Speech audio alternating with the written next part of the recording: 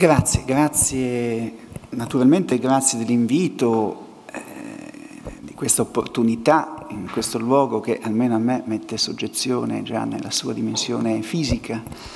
E, e grazie a Michele Ciliberto che mi ha rivolto questa, questo invito a partecipare a questo a questo appuntamento. Eh, mi pare giusto premettere eh, soltanto un'osservazione rapidissima, cioè che a differenza degli altri relatori che seguiranno, eh, io davvero non posso definirmi uno studioso di questi temi e, e dirlo a premessa non è solo un modo per giustificare un punto di vista che sarà inevitabilmente parziale, ma eh, insomma, credo possa collegare alcune osservazioni che io cercherò di fare ad una esperienza specifica e in particolare ad una categoria professionale che mi riguarda e che da un po' di tempo è in via di estinzione, che sono i funzionari politici o di partito. Peraltro direi una delle poche eh, specie viventi la cui estinzione è accompagnata da un larghissimo apprezzamento di critica e di pubblico. Eh, io vorrei iniziare con un brevissimo riferimento personale che mh, dal mio punto di vista ha la sola utilità di aiutarmi ad entrare un po' nell'argomento, nel tema. E l'episodio è questo. Uh, insomma, per i casi, per gli accidenti della vita, quando nel novembre del 1989 Achille Occhetto annunciò la svolta e il superamento del Partito Comunista Italiano, da qualche mese io ne dirigevo l'organizzazione giovanile e la notizia ebbe l'impatto che voi sapete, che quelli un po' più adulti o anziani ricordano per averlo vissuto personalmente. Nei giorni successivi a, quella, a quell'evento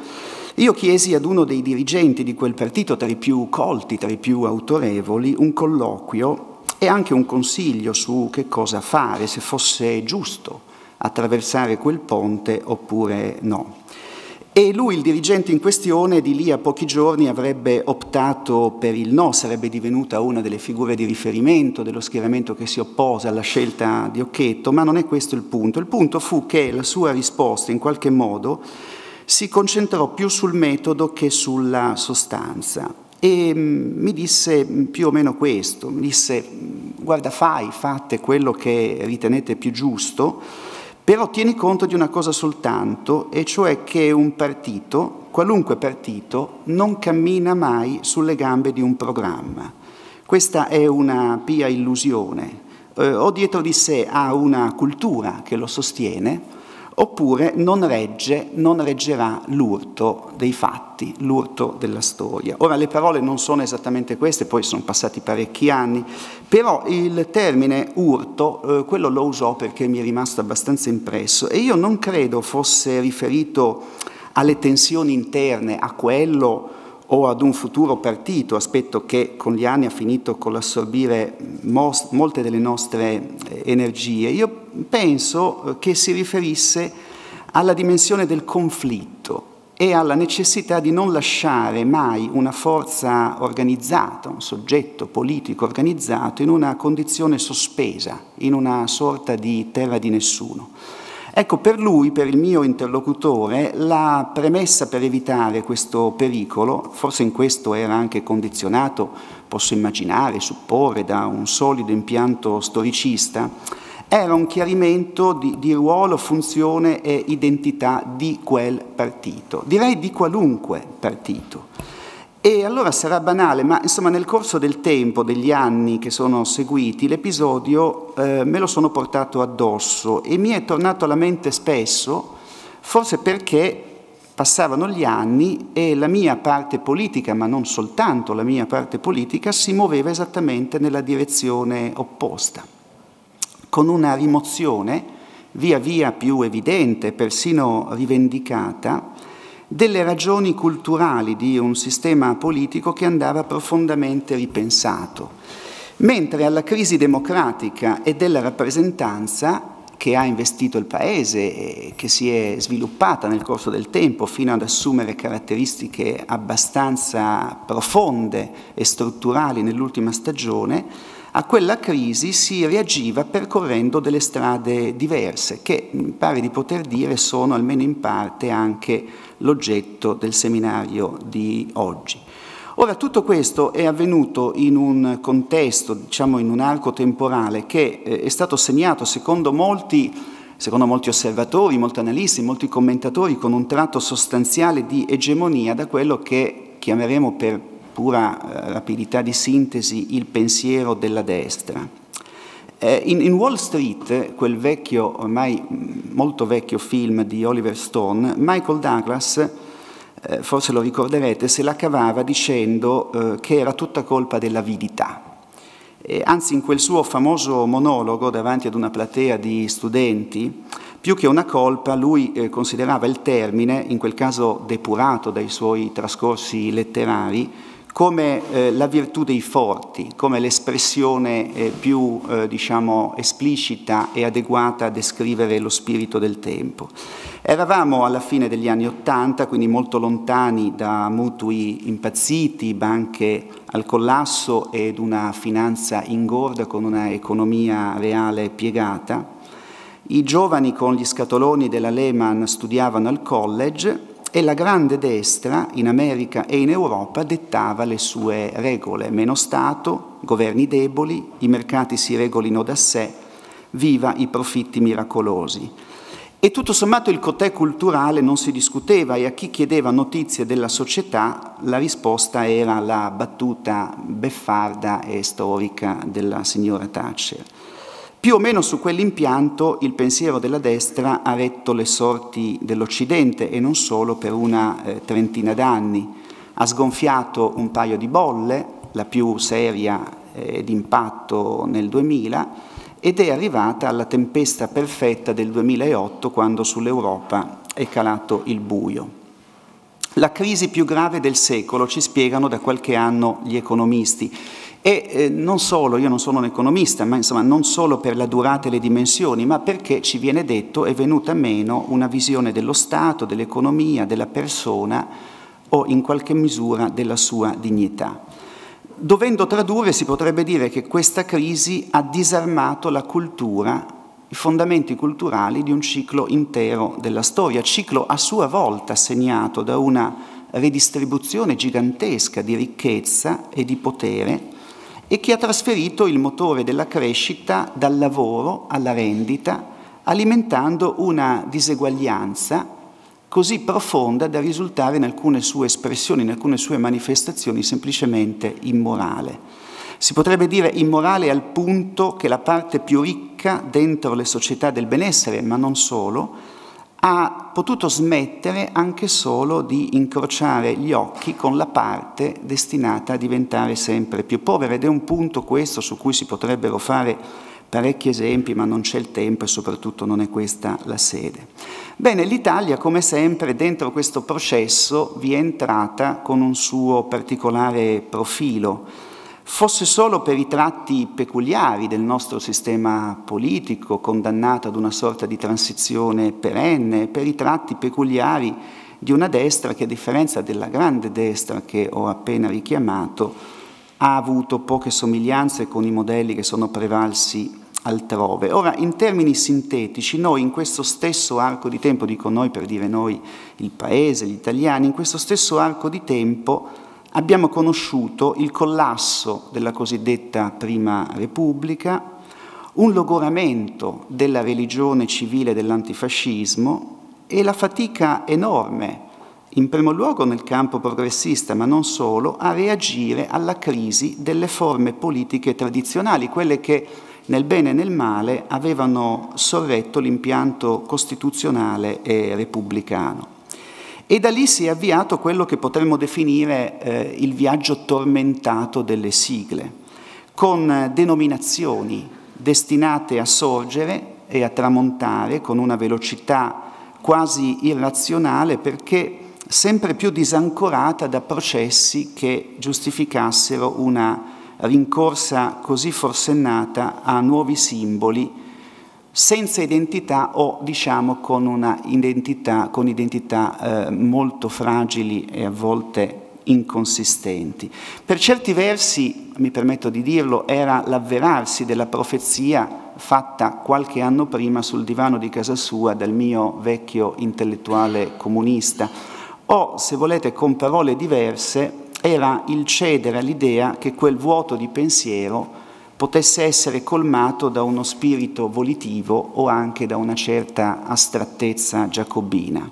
Ma insomma è accaduto così che una particolare retorica del nuovo e dell'oltre eh, ci hanno accompagnato lungo questa stagione molto lunga, trovando di volta in volta declinazione in una possibile uscita dalla crisi della politica per via regolamentare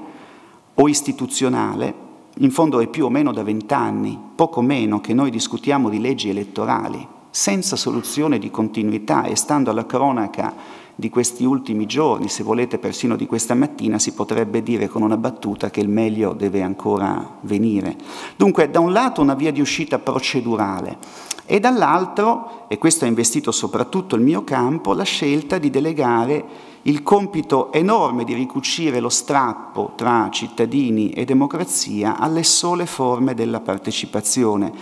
e in questo caso il pensiero eh, corre subito all'impatto rilevante che ha avuto lo strumento delle primarie, in particolare nell'esperienza del centro-sinistra, con una modifica di stili e linguaggi,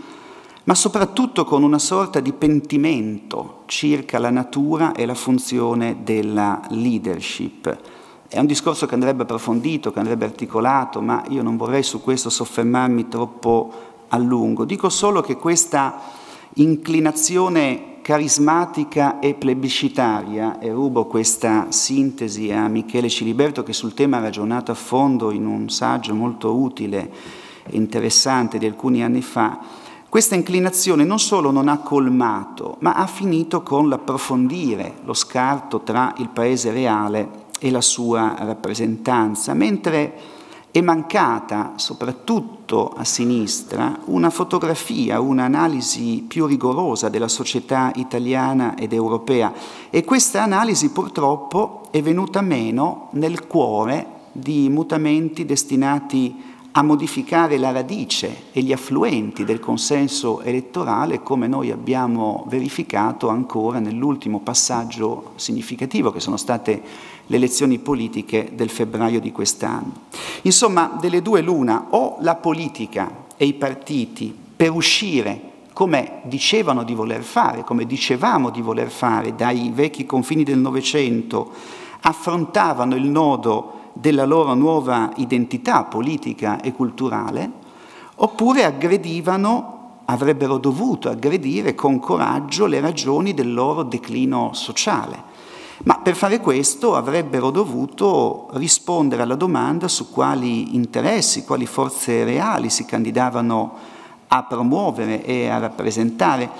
Possiamo anche dire così, o ti mettevi nella condizione, fatta la fotografia di massima che io ho provato ad abbozzare, insomma, o ti mettevi nella condizione di spiegare chi eri, o eri in grado di chiarire, uscendo dall'alibi generico del nuovo e dell'oltre, per che cosa ti battevi e quali forze reali ti candidavi a rappresentare. Quello che non si poteva fare o che non conveniva fare era rinunciare ad entrambe le cose e in particolare teorizzare come pure si è fatto l'urgenza di una politica non solo post-ideologica ma post-identitaria, che è una definizione ricorrente nel dibattito politico, soprattutto nel campo del centro-sinistra, e della quale io francamente non sono mai riuscito a comprendere il significato. A quel punto l'alternativa è diventata quel riflesso programmatico, eh, di cui in qualche modo mi aveva parlato sempre il mio vecchio intellettuale comunista sul divano di casa, quella cultura programmista che in questi 15 anni ha funzionato spesso come una supplenza del deficit di cultura politica che si andava accumulando. E la dimensione stessa dei valori è finita confinata, più o meno consapevolmente, nel recinto della retorica, ma con un saldo che si è rivelato, a mio modo di vedere, tutto sommato perdente. Perché nel nome della concretezza, nel nome dell'emergenza, e di una politica costretta a misurarsi quasi soltanto con un presente senza respiro e senza prospettiva, Noi abbiamo finito un po' tutti indistintamente, con alcune eccezioni certamente che andrebbero riconosciute, ma insomma la tendenza di massima generale è stata quella di cedere campo ad un discorso pubblico che ha finito col separare sempre di più politica e cultura e che in fondo ha separato anche la politica, azzardo una definizione forse in parte impropria, dal suo contenuto morale. E almeno in parte eh, il conflitto tra tecnica e politica è venuto da qui, da questo disarmo critico che ha finito col privare la politica delle motivazioni che a lungo l'avevano sostenuta e sorretta. Lo dico così, se i problemi delle persone si riducono al calcolo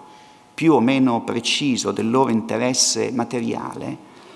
può capitare che i tecnici questa chiave di senso la interpretino meglio e però a quel punto la politica per riscoprire il suo ruolo deve porsi la domanda di fondo, deve tornare a porsi la domanda di fondo che poi è la stessa da prima di noi, e cioè quanto deve essere giusta la società che noi ci candidiamo a rappresentare. E questo significa chiedersi come quella società distribuisce le cose alle quali diamo valore, il reddito, la ricchezza, i doveri, i diritti, il potere, le occasioni.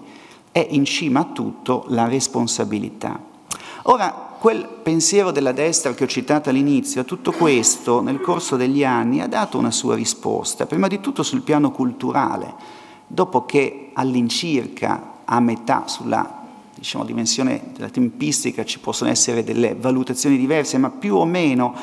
dopo che a metà degli anni 70 è entrato in crisi il modello keynesiano, per ragioni che conoscete, si è aperta la via per una storica rivincita di quelle teorie che per qualche decennio erano rimaste confinate, erano esistite, non erano innovazioni, erano rimaste confinate nei corsi marginali delle principali facoltà di economia sulle due sponde dell'Atlantico, ma in particolare negli Stati Uniti. Io non ne parlo perché non è questa la sede e poi non ne avrei la competenza, ho detto che non sono un economista, ma l'ambizione di quella rivincita, di quella storica rivincita, è stata tale da sovrapporre, forse per la prima volta in modo così dichiarato, un pensiero economico con una scienza esatta e in quanto tale definitiva. E comunque al di là di questo si è trattato di un calcolo sulla modernità che è riuscito a modificare, riuscito in un'operazione molto ambiziosa, anche molto difficile se ci pensiamo, un calcolo sulla modernità che è riuscito a modificare nella coscienza di centinaia di milioni di persone qualcosa di profondo e di strategico, come era stato, almeno nella seconda metà del Novecento, il giudizio morale sulla diseguaglianza. Cioè la destra, quel pensiero, è riuscito a trasformare qualcosa che per decenni era stato un disvalore ed era stato percepito come tale nella chiave di una nuova stagione di benessere, di crescita, di occupazione, di sicurezza, di coesione sociale. Dal loro punto di vista, da quel punto di vista, un capolavoro di strategia. Per le culture riformiste direi un colpo abbastanza decisivo alla loro concezione dello Stato, del governo, e della società. Parliamo di fenomeni che hanno investito l'Occidente, non solo noi, anche se nel nostro caso si sono manifestati con tratti particolari legati almeno in parte alle cose che conoscete molto bene, al ritardo della nostra unificazione, alla fragilità del nostro organismo statuale, ad uno spirito pubblico non particolarmente solido e a quel tratto di precarietà del nostro sistema politico che ho provato ad accennare qualche minuto fa. L'esito nel nostro caso è stato appunto l'avvio di una transizione che non si è ancora conclusa, transizione nei soggetti e nelle culture politiche, transizione negli assetti istituzionali, transizione nella ricerca di una diversa modalità della forma partito, della partecipazione democratica, del rapporto nuovo e originale tra democrazia rappresentativa e democrazia diretta, del legame tra soggetti, culture, potere e in fondo, ma è forse la premessa di tutto, del carattere della sovranità. Ora, tra gli effetti di questo ritardo del Paese, a me pare utile richiamarne sostanzialmente due. Il primo è una personalizzazione della politica, dai tratti quasi parossistici. Forse su questo aspetto specifico ha pesato un po' come un macinio anche l'anomalia della nostra vicenda storica. Eh, lo dico solo come un esempio, ma due settimane fa Lipsia la socialdemocrazia tedesca ha celebrato solennemente i 150 anni eh, dalla nascita di quel movimento politico, di quel partito. Ora, considerando tutte le differenze, noi siamo un paese dove il più grande partito del campo progressista, al netto della confluenza al suo interno di diverse filiere, di diverse tradizioni e forze esistite nel passato, se tutto va bene, tra qualche anno celebrerà, festeggerà il suo decimo anniversario e voi capite che c'è differenza. Ma oltre a questo, da diversi anni oramai, e dico una cosa assai scontata, la quasi totalità delle sigle dei movimenti rappresentati nelle istituzioni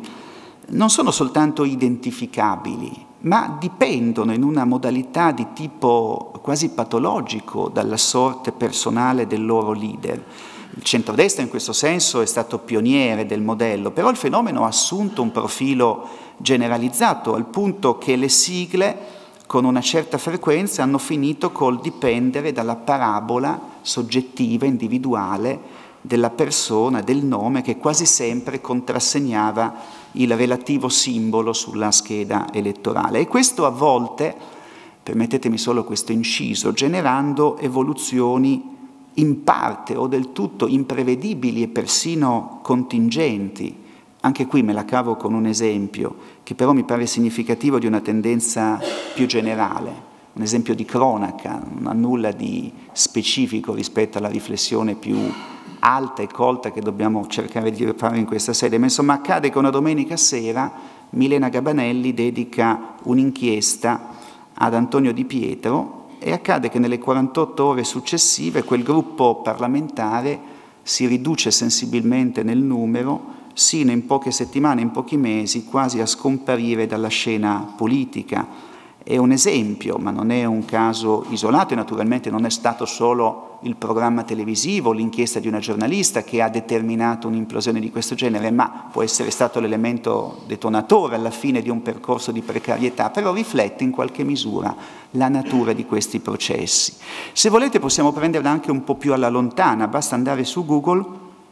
e scaricare la scheda delle elezioni politiche del 1987 e poi quella della quota proporzionale delle elezioni del 27 marzo del 1994. Sono passati sette anni, sette anni sono molti ma non sono un'eternità, eppure mettendo a confronto, a paragone quelle due schede, non un solo simbolo delle elezioni del 1987 si ritrova sulla scheda del 1994, forse sì, forse quello della Lega, non ricordo, ma questa è una cosa che solitamente accade dopo un evento traumatico, una guerra civile, una rivoluzione. Noi per fortuna abbiamo conosciuto una rivoluzione dolce, per certi versi referendaria, ma il punto non è lì. Il punto è nel fatto che da un tempo discretamente lungo per una democrazia come la nostra, noi siamo alle prese con una precarietà del nostro sistema politico e questa è una condizione che influisce inevitabilmente sulla precarietà del nostro assetto istituzionale. E il punto è che un sistema politico fragile e precario non rende la democrazia più solida, ma all'opposto ne accentua la, vul- la vulnerabilità e la espone alla carica aggressiva di chi punta a ridurne l'autorevolezza, la stabilità. Ma dicevo di due effetti del nostro ritardo storico che mi paiono quelli un po' più legati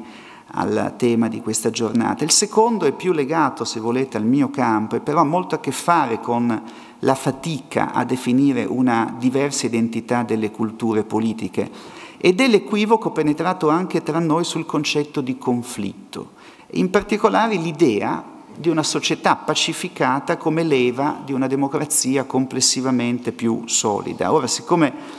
a mio parere resta ragionevole pensare che sia più vero il contrario, temo che questa convenzione da cui è derivato un racconto della società e delle sue dinamiche sociali e culturali abbia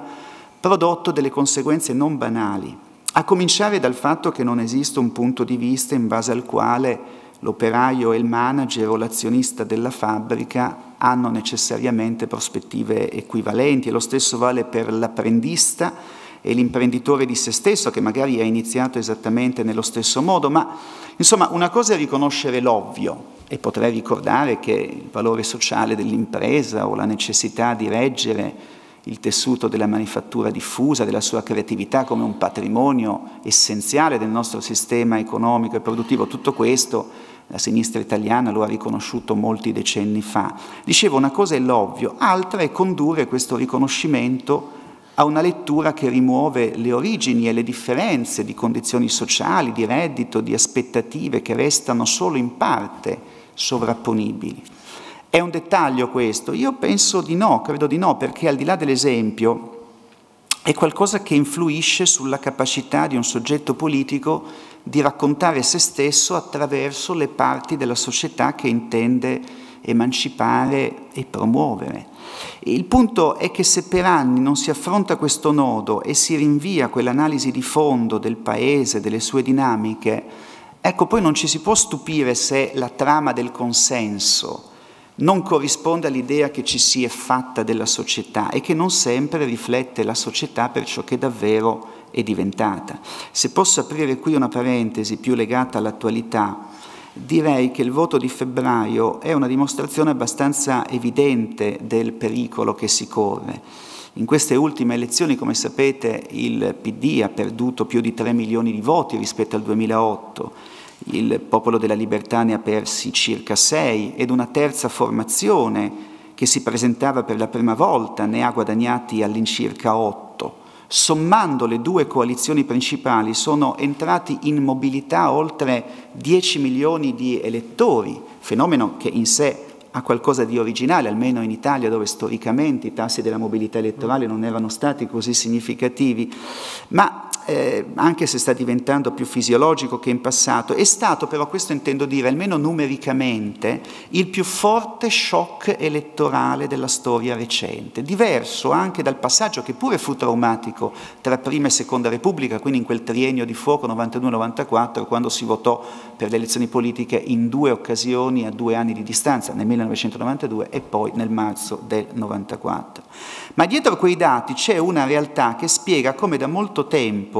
il bacino elettorale del centro-sinistra sia un bacino sempre più ristretto e poco espansivo e neppure la crisi, esasperando gli animi, ha modificato quel dato. Lo dico così, da anni le ricerche su questo punto offrono la stessa fotografia Tre grandi aree nel voto per quella parte politica sono sovradimensionate, il lavoro dipendente, in prevalenza quello pubblico, i pensionati le categorie ad alto contenuto di formazione, il che non è un caso perché quella è la base sociale che ha le sue radici nella frontiera più avanzata del welfare italiano, quello che matura tra la metà, la fine direi degli anni 60 e la fine del decennio successivo, cioè un pezzo dell'Italia che nell'arco di una stagione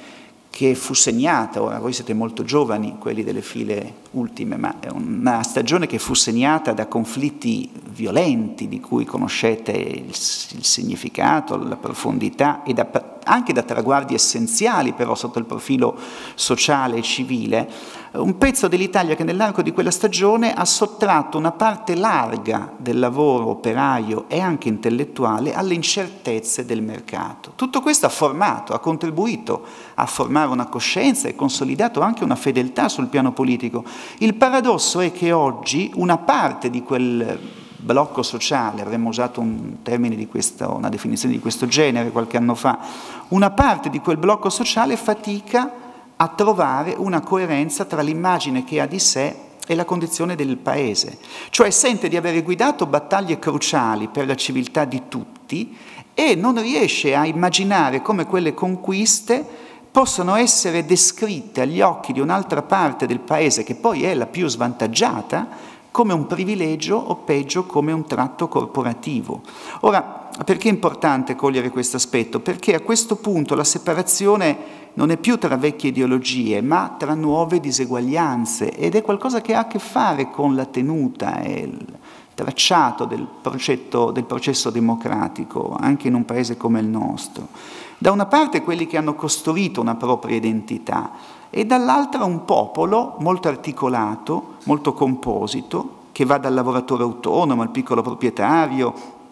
al professionista, con loro le partite IVA, il precariato diffuso, quel modello di capitalismo personale che è un po' una peculiarità della nostra esperienza storica. E ne è nata una divisione del Paese anche sul fronte elettorale, col ruolo dello Stato assurto a simbolo di questa distanza. Per una parte minoritaria lo Stato è rimasto lo strumento a difesa di legalità, diritti, della maturazione civile, per l'altra un nemico che ha usato la leva fiscale per violare la libertà dell'impresa e della proprietà. E nelle curve di questi umori sono proliferati i comitati d'affari che hanno sfruttato gli appalti del pubblico in una dinamica della corruzione talvolta elevata a sistema, mentre sullo sfondo a pagare il prezzo di tutto questo erano categorie di lavoratori onesti o imprenditori anche molto coraggiosi, ma abbandonati sulla frontiera della competizione internazionale. Ecco, la Seconda Repubblica, termine che non andrebbe mai utilizzato, ma insomma si è fondata su questo bipolarismo, prima sociale che politico, in qualche modo anche sull'opposizione eh, artificiosamente alimentata da, da alcuni di, tra questi due popoli e ne è venuta una combinazione dello scontro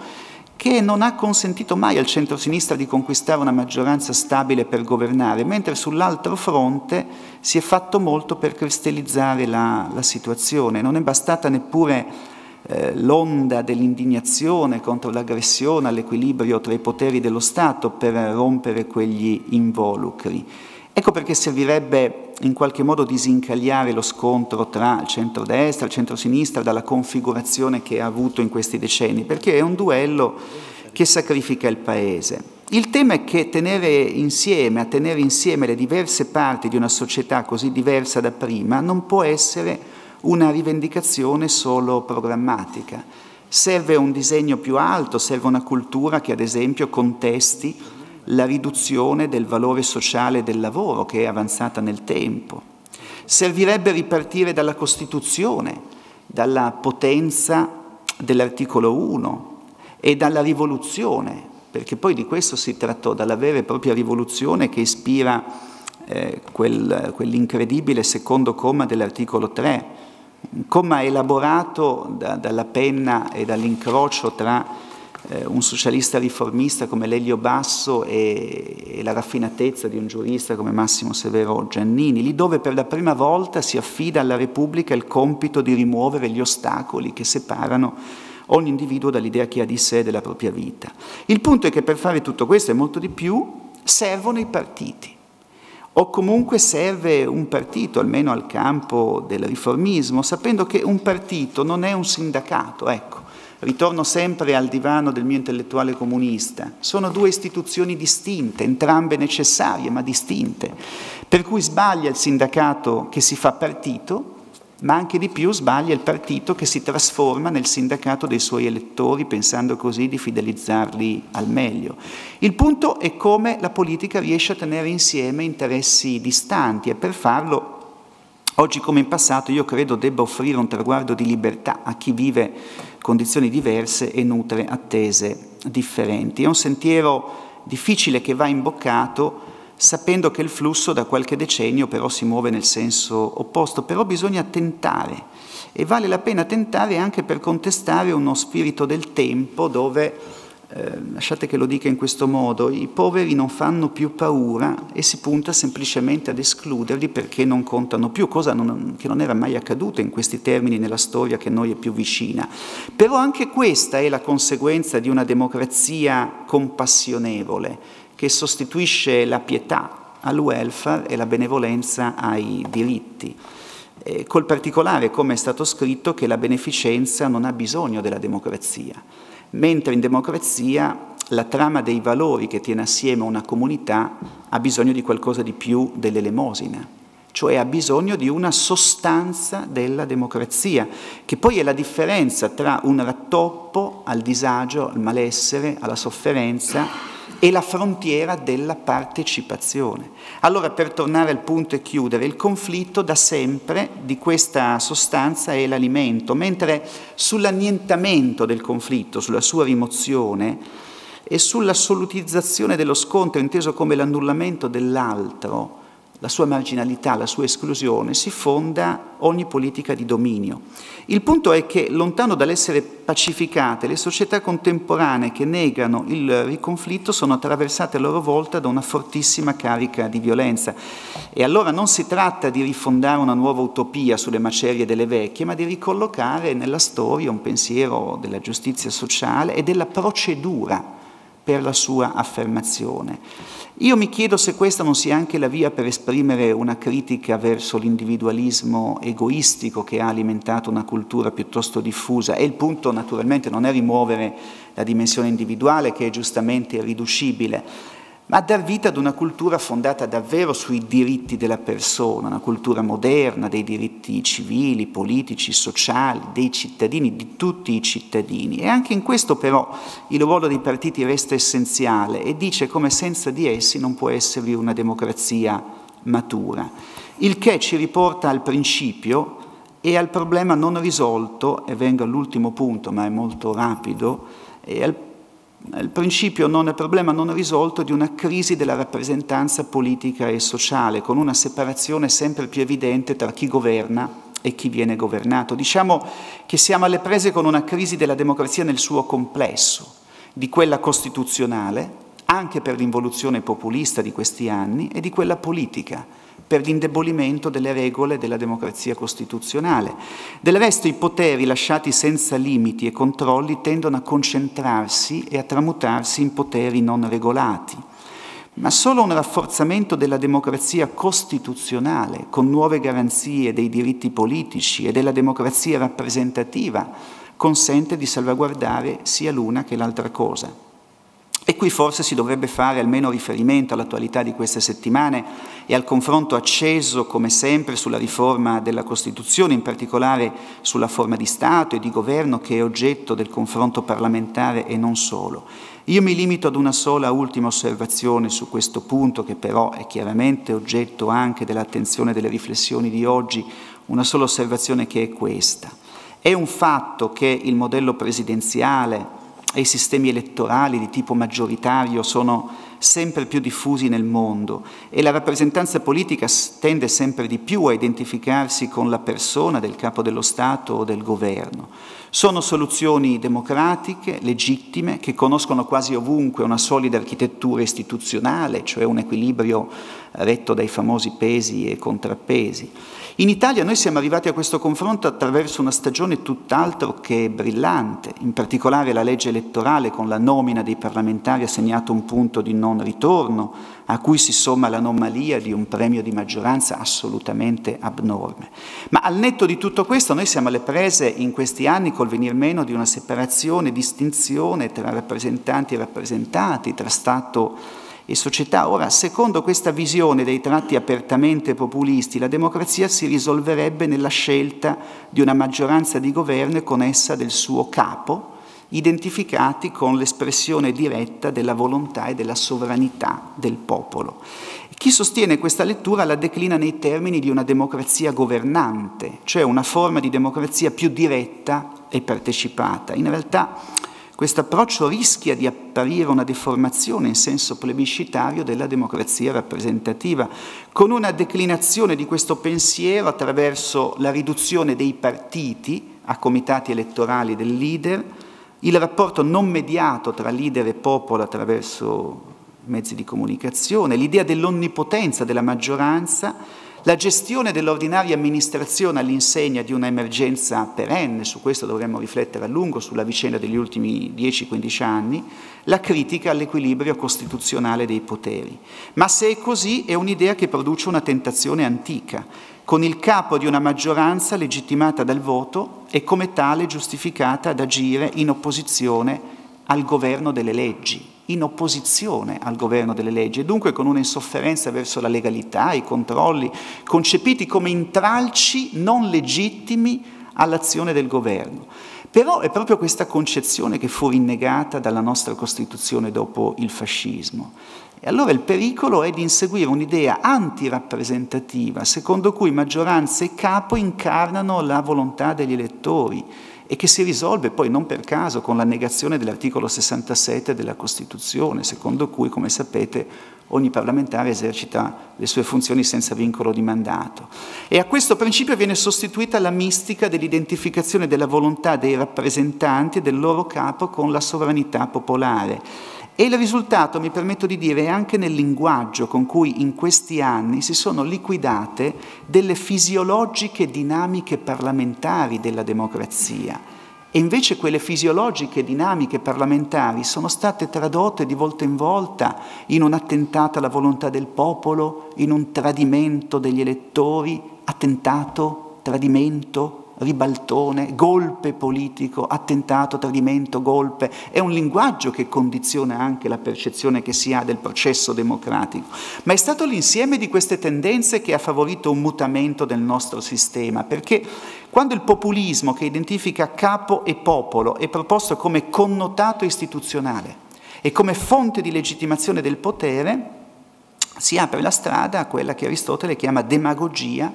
cioè quel sistema in cui sovrana è la massa, non la legge, e i molti sono sovrani non come singoli, ma nella loro totalità. Ecco perché, persino al di là dell'esito tecnico della riforma di cui si discute, sarebbe doveroso fare di questo confronto sull'assetto delle nostre istituzioni, dunque la forma dello Stato, la forma del governo, la legge elettorale, la legge di applicazione dell'articolo 49 sui partiti politici, le forme del loro finanziamento pubblico, la riforma della partecipazione democratica. Sarebbe giusto fare di tutto questo un'occasione unica è molto preziosa per un processo costituente della nostra democrazia che è logorata da un ventennio di transizioni incompiute. E questo dovrebbe passare da un confronto pubblico su come rigenerare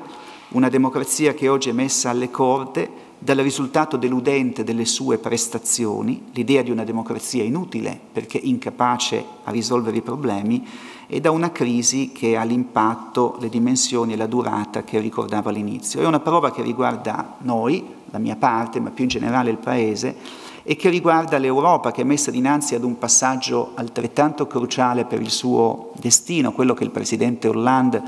ha descritto qualche settimana fa in un discorso per molti versi storico, se commisurato alla tradizione repubblicana francese, alla tradizione storica di quel paese di quella nazione. Per tante ragioni è l'intera costruzione politica europea che va ripensata e questo intreccio tra una costituente italiana e una costituente europea che rende così ricco di stimoli, di suggestioni e di opportunità anche il passaggio storico che abbiamo davanti, un passaggio fondamentale nelle regole, nelle istituzioni, nella visione dell'Europa, nella necessità di non lasciare la politica confinata, come purtroppo io credo sia accaduto in casa nostra negli ultimi 15-20 anni, ad una sua inesorabile solitudine. Ma da questo punto di vista partirebbe un'altra riflessione che meriterebbe ben altro approfondimento, mentre io ho certamente esaurito il mio tempo e credo anche la vostra cortesia della quale vi ringrazio.